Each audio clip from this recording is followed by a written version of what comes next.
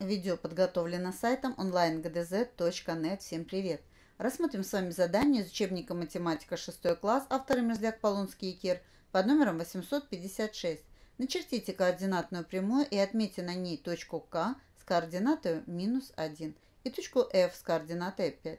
Найдите на прямой точку Е такую, что точка К – середина отрезка EF и определите координату точки Е. Итак, мы с вами то, что мы можем сейчас сделать, это указать направление нашей координатной прямой.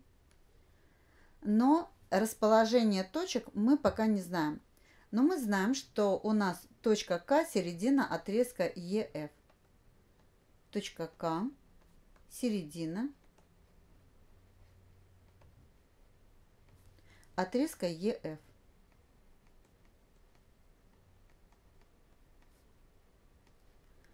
Что мы знаем про точку К? Точка К имеет координату минус 1. Значит, точки Е и F расположены одна правее, другая левее. Что мы знаем про точку F? Она расположена правее от начала отсчета на 5 единичных отрезков. А по отношению к точке К она расположена на расстоянии 6 единичных отрезков. Значит, и влево от точки К нужно отложить тоже 6 единичных отрезков. Поэтому влево оставляем так, чтобы у нас было 7 единичных отрезков. Раз, два, три, четыре, пять, шесть, семь. И отметим начало отсчета. Точку 0. Вот теперь мы можем с вами построить единичный отрезок. Я беру 1 сантиметр 2 длиной 2 клеточки. И теперь отметим точку К с координатой минус 1 левее от начала отсчета на один единичный отрезок минус 1. Точка К.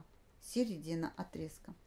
Точка F с координатой 5 от начала отсчета расположена на 5 единичных отрезков вправо. 2, 3, 4, 5. Это точка F.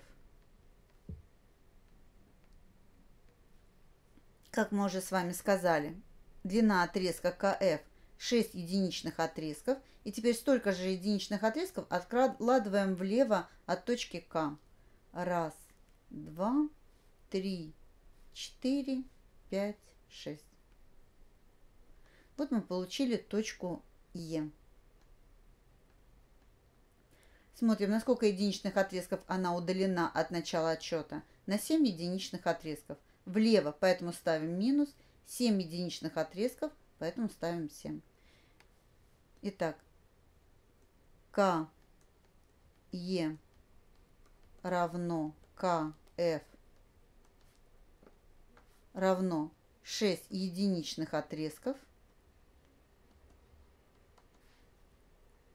И точка Е имеет координату минус 7. Все, мы выполнили задание. Если вам понравилось наше видео, ставьте лайки и подписывайтесь на наш канал. Если остались вопросы из предложения или замечания, оставляйте их, пожалуйста, в комментариях к этому видео.